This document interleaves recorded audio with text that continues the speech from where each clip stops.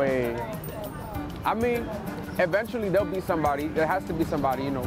I never knew they kept statistics on that. I didn't know that. What does ethics have to do with this? What does race have to do with being a, with the chess? What, the world's eager to see a black chess woman master? I like to see that. I like to see it because you have women that play chess. I mean, I, I play against many out here, women that are really good at playing chess. Do you see a lot of women of color come out here to play? Not a lot. There are some, but not a lot. I'm sure there's some black women who master chess already. I'm sure of that. They go down to the chess club. They got them over there.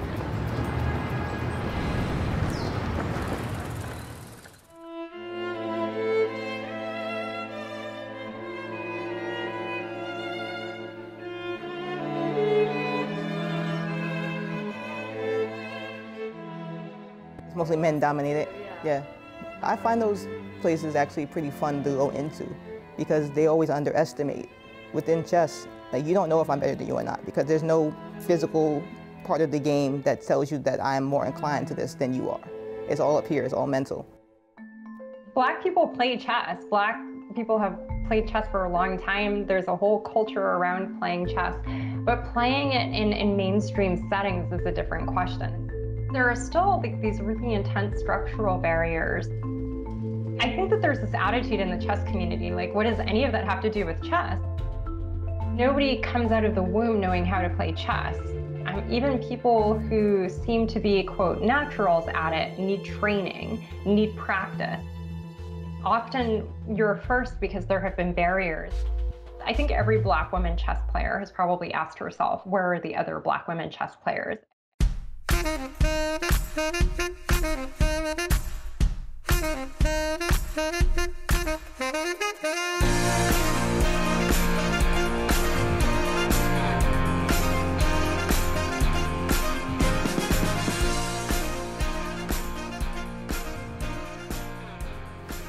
I guess the lack of black women in chess really goes towards chess not being there for black women.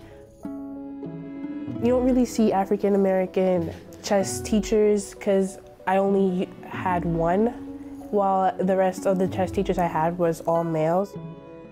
I get more comfortable with another woman in the room or another African American woman in the room.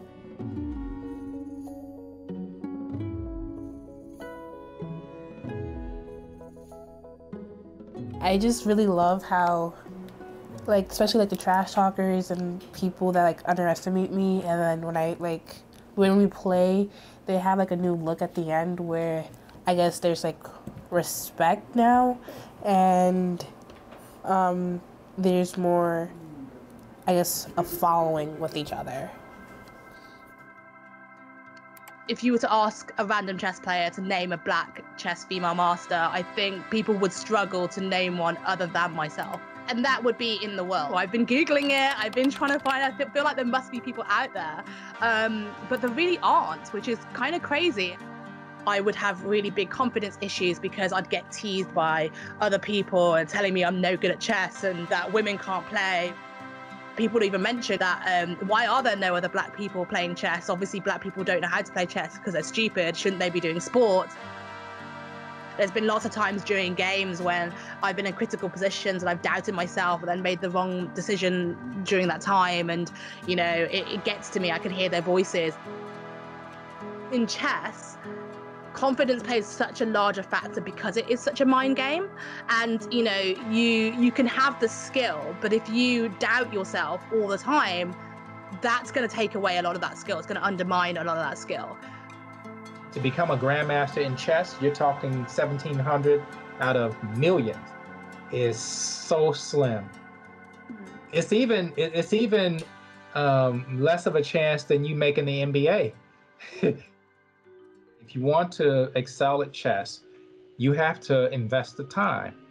In the case of the Black community, most of us don't really have the luxury of time um, because we're we're having to make ends meet. You know, tr- trying to find our way economically in the society. For, for so long, we had been uh, kind of marginalized economically. But what chess does for Black people is it provides a platform to do other things. For example, to get into a competitive university. Chess looks very good on your resume. And I have found that in my community, that's the main takeaway. Rochelle Ballantyne is a very interesting story because her story is chronicled in Brooklyn Castle. And there was this emphasis on her being the first African American ma- female master.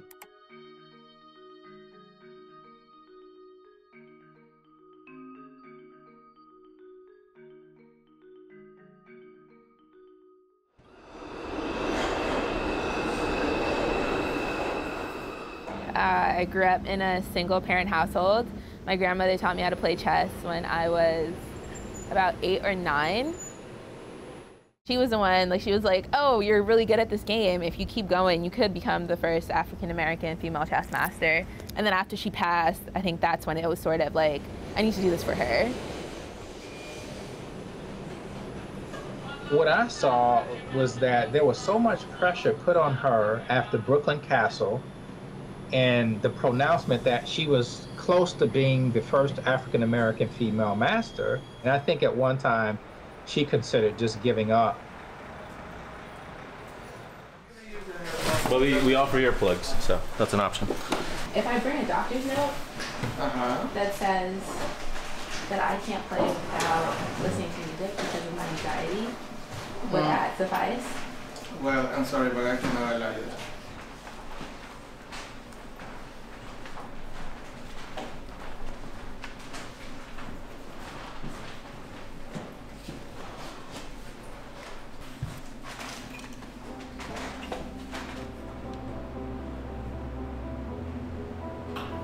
Stopped. So I like I didn't face it. I ran away.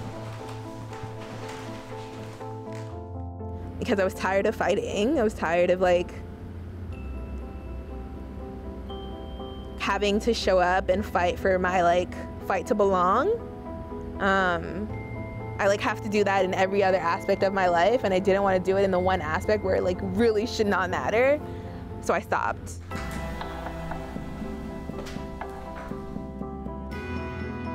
I was afraid of letting everyone down because they put this title on me um, to sort of like usher in the new generation of black girls and girls in general. And I think that's the mistake that a lot of people make uh, in my community when they try to accomplish goals. They put all these qualifiers on it as opposed to looking for the goal itself. But now that I'm back, I know what it means for kids who look like me to be in those spaces. And I like want to honor that.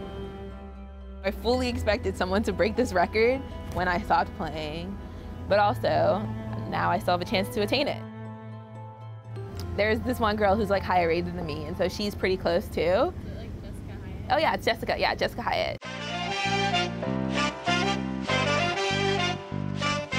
We have uh, a young lady now, Jessica Hyatt, kind of approaching master level.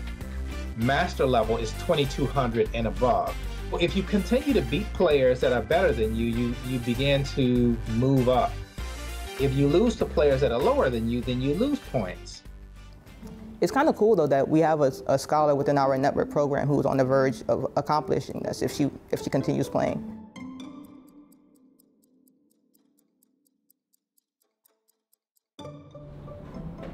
I try and and like teach the kids just not to quit because you never know what the what the outcome of the game is going to be if you end it abruptly. I'm able to understand these kids a little bit better because I'm able to relate to them because I'm from the inner city. I'm from New York. I know the, the struggles and the hardships. Just seeing another, I guess, person of color in the room with them, showing them, and hopefully it makes them more comfortable. I know that I'm teaching them something that's going to be used, whether they know it or not. United States Chess Federation does not keep ethnic data. They keep gender, they keep age. Those are the two things that they keep. When you do that, you kind of limit your ability to measure your growth in certain segments of the community. We have all these demographics, and these stories are not being told. This history is not being written. I think it's always going to be important to see Black people doing things that we were told that we couldn't do. I think more can always be done. Because if we're talking about it right now, we want more to be done. Me and Jessica, we just have a relationship where we just like push each other to be better um, at chess. Chess is is like an individual game because it's just you versus someone else. But I feel like at the end of the day, you're part of a team.